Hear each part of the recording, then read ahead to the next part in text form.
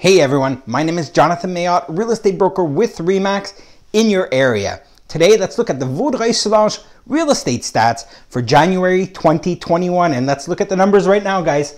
Sales, 145 homes sold in January. Congratulations to all those sellers. And I'd like to personally welcome all the families moving into our community. Welcome to Vaudreuil-Soulanges. You will love it here. Next, inventory.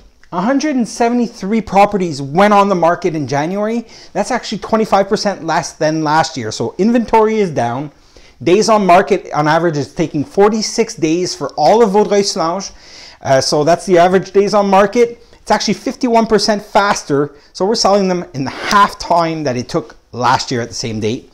And the price, the median price in the area has gone up 25%, guys. That's bananas. So what are we seeing? Market is great for a seller, not so easy for a buyer.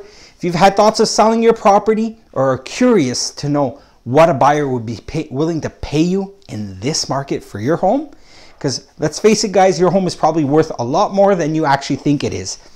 Reach out to us, it's free. Let's do a free home valuation for you with no obligation to list. My direct line is 514-778-7776. I look forward to speaking to some of you soon. And until then, please remember in today's market now more than ever, who you work with truly matters.